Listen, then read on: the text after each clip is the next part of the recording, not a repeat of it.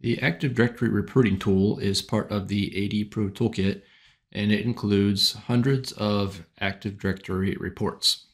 Um, and, you, and, it's very easy to use. You simply just find the report you want, and you can see they're all categorized here. Uh, so for example, I'll run an all users report. So I just click the report, and then by default, it'll run on the entire domain. But if you want to narrow the report down to an OU or a group, just click Browse and select the OU that you want. Uh, I'm going to run this for the entire domain, so I'll click Run. And you can see it's going to go list all my users, and then um, it's got a default set of columns here. And you can customize these any of these reports by clicking on Columns, and then you can add and remove whatever attributes that you want. Um, so if I want to include you know, telephone numbers, street addresses, I just find the attributes that I want and click the arrows. I can move them up or down. You can also add custom attributes. So if there's not an attribute that you see here, you can click add custom attributes to add any custom attributes. Um, and then all the reports, you can search them by clicking the search button here. If you want to find a specific user, uh, you can also right click and filter sort. There's an advanced filter editor if you wanted to do some advanced filtering. Um, but there's all kinds of reports here. Recently deleted, created, modified users. Uh, you can find all user SIDs, users with thumbnails, users without a manager. Uh, there's password reports. So you can get users with an old password. You can get users password expiration date. So you can see days since password last set, password expiration date. Uh, and some reports have uh, an option to filter. So you want to find passwords that expire in the next 30 days.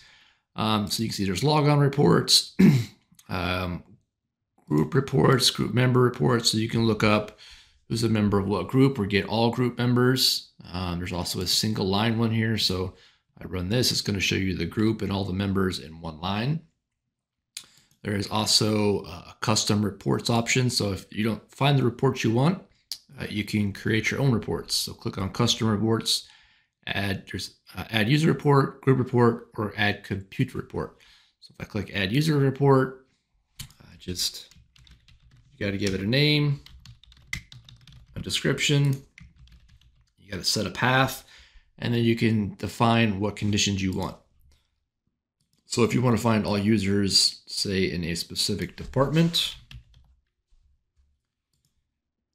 department is accounting.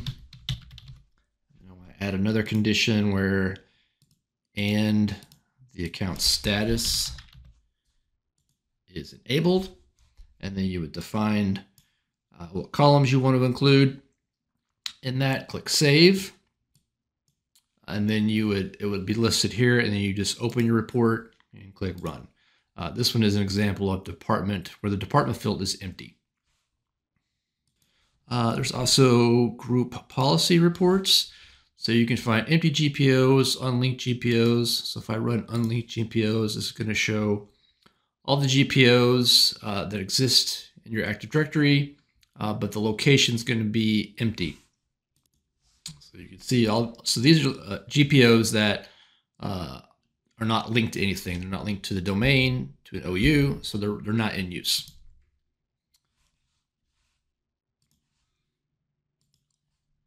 Uh, recently created, recently modified GPOs. Uh, there's a built-in scheduler.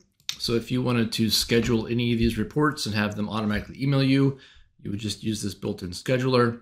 Uh, if you wanted to do email reports, you got to configure your email settings. Uh, but you would just click Add, select Reports, give it a name, enter your credentials, and then just click Next to complete the wizard. You can schedule it to run uh, hourly, daily, weekly, or monthly. Uh, there's also computer reports, uh, so you can do you know you can do reports on all computers, uh, recently created and active computers. So uh, computers that haven't been logged into in a specific time frame. Uh, there is OS-based computer reports. So you just select the OS that you wanted to do a report on to find all Windows 10 computers. I only have one. If I did Windows 11, I've also got uh, I've got several Windows 11 computers. Uh, there is OU reports. Um, let's see. So this one's uh, nice because it's going to show you the object count, so you can see how many objects are in each OU, and you can see I got a bunch of empty OUs here. Um, and then there's secu security reports. Um, so you can see admins with old passwords. You can see your domain password policy, your tombstone lifetime, forest functional level. There's LAPS passwords. Uh, I forget which one I have. Okay, there you go. So you can see your get a report of all your LAPS passwords. There's BitLocker recovery keys.